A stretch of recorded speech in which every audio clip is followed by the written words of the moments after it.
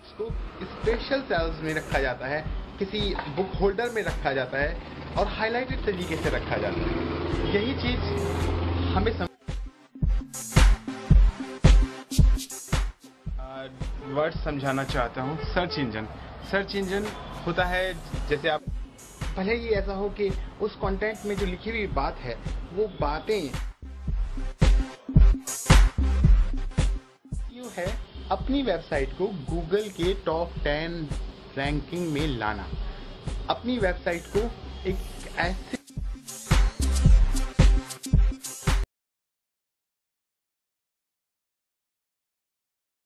Hello friends, welcome to this video series.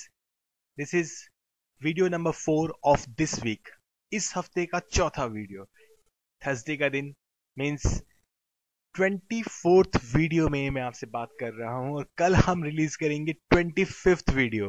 Oh I am really really excited about this twenty fifth video, लेकिन उस excitement को हम कल और अच्छे से इंजॉय करेंगे। आज बात करते हैं आज के टॉपिक के बारे में। आज फिर से मैं कुछ और टिप्स कुछ और नई बातें ऑन पेज एस के बारे में बताने वाला हूँ। तो चलिए शुरू करते हैं। आज का हमारा टॉपिक है user experience user experience so friends आपको जब अपनी वेबसाइट को अच्छा ऑन पेज एस देना है, अच्छी रैंकिंग लानी है आगे फ्यूचर में, अपनी वेबसाइट की एक वैल्यू बनानी है, एक रेपुटेशन बनानी है वेबसाइट की तो आपके लिए बहुत इंपॉर्टेंट है कि आप समझें कि आपका यूज़र कैसा एक्सपीरियंस कर रहा है, आपकी वेबसाइट को यूज़ करते वक्त। तो यूज़र एक्सपीरियंस से रिलेटेड कुछ टिप्स मैं आपको दूँगा। ऐसा नहीं है कि यही बस टिप्स हैं, इसके अलावा बहुत कुछ है। इस वीडियो सीरीज़ में आगे आने वाले वीडियोस में बहुत सारी बातें on pages off pages link buildings काफ़ी चीज़ें हम बातें करने वाले हैं इस बारे, इस वीडियो सीरीज़ में। लेकिन फ़िलहाल अभी के लिए कुछ इंपॉर्टेंट टिप्स आज के इस वीडियो में। तो सबसे पहला इंपॉर्टेंट पॉइंट है हमारी वेबसाइट के लिए। उसके बारे में मैं बात करने जा रहा हूँ। आपका यूज़र आपकी वेबसाइट को दो पर्टिकुलर मोड में देखता है। एक, आपके पास डेस्कटॉप यूज़र हो सकते हैं, दूसरा मोबाइल यूज़र अगर फैक्ट की बात करें तो इंडिया में पाँच साल पहले तक डेस्कटॉप यूज़र बहुत ज़्यादा थे, लेकिन आज की डेट में ये परसेंटेज मोबाइल यूज़र्स की तरफ़ बढ़ता जा रहा है। नॉर्मली जब हम वेबसाइट बनाते हैं तो हम वेबसाइट को डेस्कटॉप पे डिज़ाइन कर रहे होते हैं और उसके मोबाइल व्यू के एस्पेक्ट को ओवरलुक कर देते हैं। समझ नहीं पाते कि ये वेबसाइट मोबाइल पर जब दिखाई देगी तो क्या क्या फैक्टर्स जो इंपॉर्टेंट थे हाईलाइटेड वन थे डेस्कटॉप में वो मोबाइल व्यू में खत्म हो गए।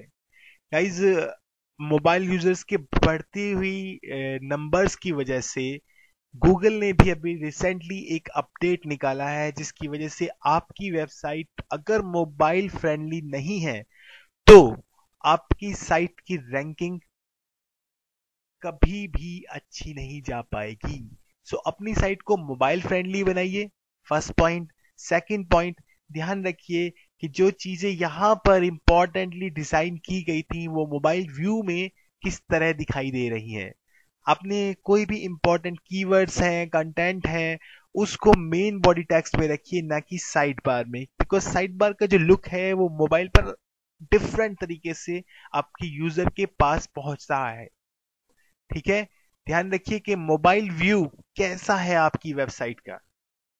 Next important point have fast load times आपकी वेबसाइट अगर लोड होने में ज़्यादा टाइम लगाती है, आपकी वेबसाइट को ओपन होने में बहुत टाइम लगता है, पूरी तरह से पेज आने में बहुत ज़्यादा टाइम लगता है तो ये आपकी वेबसाइट के लिए गलत है।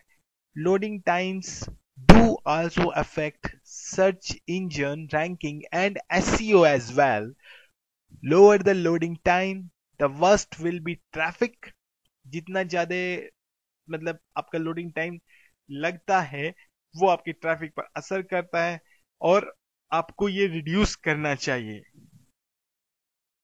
कैसे करते हैं? उसके लिए कुछ टूल्स भी होते हैं, वो मैं आपको बताऊँगा। कुछ प्रिकॉशंस होती हैं, वो मैं आगे आपको बताऊँगा कि क्या क्या ध्यान रखना चाहिए आपको अपनी वेबसाइट के लोड टाइम को कम करने के लिए। Next point ensure your navigation is easy to use आपकी वेबसाइट पर ऊपर की तरफ़ एक मेन्यू होगा। आप अपने मेन्यू को ध्यान से डिज़ाइन कीजिए। कंटेंट के बीच में लिंक लगाइए। One page to to page जाने के लिए, जिसे मैंने इंटरनल लिंकिंग बताया था। साइड बार को यूज़ कीजिए। वहाँ पर पेजेस के लिंक लगाइए, ताकि आपका जो विजिटर है, वो आपकी वेबसाइट को सारे तरीके से नेविगेट कर सके। हर पेज पे जा सके। अगर उसके पास टाइम है, अगर वो चाहता है, अगर आपका कंटेंट इतना ज़्यादा एंगेजिंग है तो इस बात का ध्यान रखिए। कुछ यही पॉइंट्स थे, जिन पॉइंट्स के बारे में मैं आज के वीडियो में बात करना चाहता था।